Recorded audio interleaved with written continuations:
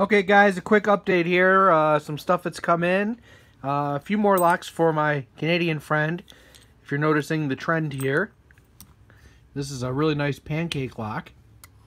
And this is uh, just a warded padlock. So these will be added to his pile.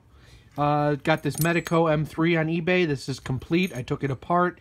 Spent uh, like an hour trying to get the stupid slider thing back together uh, but it's complete. Uh, also got these two, and I bought them, and there was only just a picture like this, uh, so I just thought they were normal WBs, but these are marked with a company's name on them. I got a pair of these, key to like, uh, so I'm sure one of these will be traded.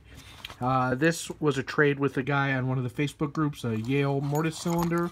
Sent him a padlock, so this is real nice in the original package. And then I went to the Habitat Restore today, picked up some die-cast cylinders, which are just good to have uh, for temporary stuff or for challenge locks.